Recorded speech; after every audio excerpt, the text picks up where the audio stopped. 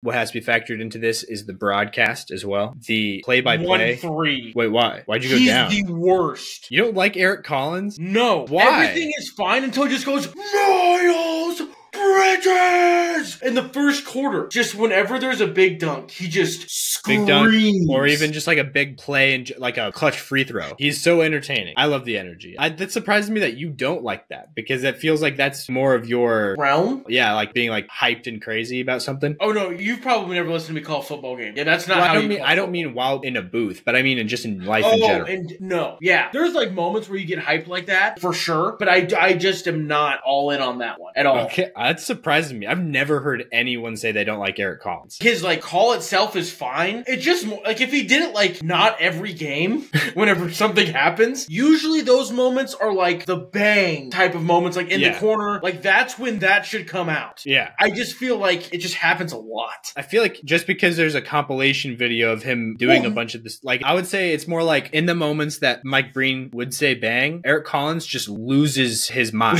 like that's what's And Mike Breen yells bang is. too often. I just feel like once there's like a big moment, you used your peak and there's nowhere else to go. He does the double bang sometimes, I and the biggest, mo- he, like the biggest moments he has done the double bang. I feel like Mike Breen. There's not a better play-by-play guy. Like oh, what? What was that face? Mike Breen's good. No, no, just interesting. Mike Breen is the goat. Man, I didn't know we felt this differently about. I uh, think we just have uh, different levels of like how you should call a game. Mike Breen is the pinnacle. He's of- okay. I just think he's like he never makes mistakes. Even when he does, it's like very like fast turned around. Like he's just so good. His voice is so perfect for it. His tone is like very consistent. He's more even keeled. Like he's kind of the opposite end of the spectrum from Eric Collins. But even with that even keeledness, like when he gets like the bangs out there, like it's It's, it's, just like said he's the goat. That is He- who aggressively the GOAT? Kevin Harlan. Are you insane? you would say Kevin Harlan is undoubtedly, unquestionably better Maybe than Mike just Breen. basketball, whatever. But Kevin Harlan does baseball, football, and basketball at the highest level. I love Kevin Harlan. Not taking it away from Kevin Harlan. And I'm just I'm saying Mike Breen is like an at least equal candidate for being the GOAT. This is going to be a thing that we go round and round and round and round. It doesn't matter. But it's just, that's why. It's just the, without hesitation, how you just went, he's the GOAT. I'm like, what? Well, I mean, would you say that's weird to call LeBron the GOAT? If somebody was like, it's LeBron, it's the GOAT. Like, you wouldn't be like, oh, that's insane that you just With said LeBron's just the, the basketball caveat for the announcer thing, I'm just saying, if you broke it down, I actually probably would lean Jordan, like in that, Mhm. if I had to actually pick one guy. But I don't see any problem in just saying, like, LeBron James, he's like the GOAT. There's very few guys that you can actually say that about. He's one of probably only two guys that you can say that about. And I feel, I feel like that way about Mike Breen. All right. Well, I guess we agree to disagree. No, Eric Collins never is lacking energy in a broadcast, which is a thing that not everybody can do. Mhm. I'm not saying he's bad by any stretch of the imagination. I just think that like energy is a resource, like moments. So if you go to this extreme in the second quarter when the game is not close, what do you do when there's like this Ray Allen in the corner type of moment? Take his shirt off and break it. Like, you know what I mean? Like, If a team was like mounting a comeback and like to tie the game up, there was a thunderous slam. That's when you lose your absolute mind as the home guy. yeah. But he just does it like big dunks. It's never like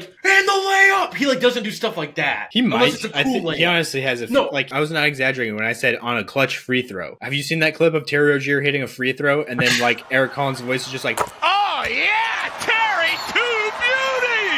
yeah, that's wild. Anyway, different uh things for different folks. Different, different strokes, for different strokes for folks. different folks. That applies just about everything in life.